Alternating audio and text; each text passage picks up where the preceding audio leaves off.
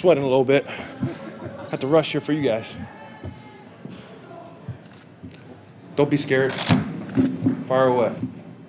How much of a, how much of a point of emphasis was it to, to kind of disrupt Mason Rudolph's timing, get in there and kind of upset him a little bit? Yeah, it was big. You know, it was a big emphasis. You know, we knew he was, he was a young quarterback, his first start, and uh, up front we, we had to you know take on the challenge of, you know, um, making him uncomfortable in the pocket, uh, closing the pocket in, in on him.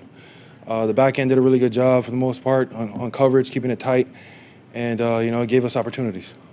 Richard was in here saying that, that you guys embrace you know, being put in tough spots. You guys were in some tough spots Mm-hmm. Oh, yeah. at different points in the game today. I mean, Yeah.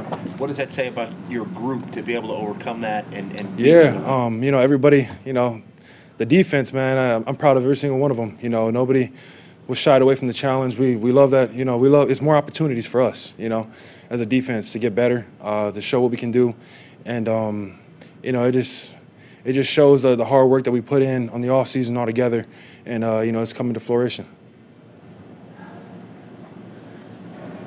been here obviously for some, some tough times, but to be three and zero and Mm-hmm. Yeah. and to you know, what's just the difference like in terms of you know having a team that, that looks like it could it could do some things. Yeah, um, yeah, like you said, uh, I think uh, the organization hasn't been 3 and 0 since like 1998, so that's a big accomplishment. It's a great day. Uh, you know, we got coming in 3 and 0. Uh, Seahawks lost today. It's also, you know, a good thing. Uh, but um, yeah, man, it's, it's a great feeling. You know, a lot of the guys, you know, we're a young team and. Um, you know, just we're still learning learning to win. We could have made that game a lot easier on ourselves. Uh, you know, we, we found every possible way as a team to, you know, kind of shoot ourselves in the foot a little bit, make it a little challenging. But uh, you know, it's the main thing is coming out with the win, and that's what we did.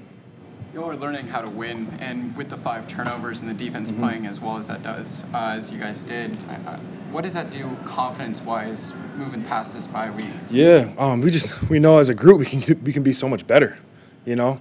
Um, defensive wise, you know, we, obviously we let a couple couple slip. Uh, we know we can uh, do better on that on, on all phases. Um, offensively, you know, obviously we had five turnovers. Um, you know, it's you know it's just the little things is executing, you know, and uh, you know just taking care of the ball and getting the ball on defense. Um, I, I feel that we could have got a couple more today, and we missed those opportunities. But um, you know, we just got to go back, watch film, and see what we can get better on. What happened on the one you guys wound up, did wind up getting the, uh, the, the fumble recovery there late? Yeah, it was a big, great big play by Arik Armstead. Uh, you know, it was a big play by him. He got, I'm pretty sure he got the ball out, and uh, by the grace of God, it fell right in front of me.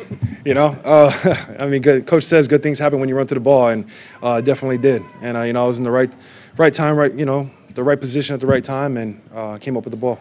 How good has Arik been these first three games? He's been phenomenal.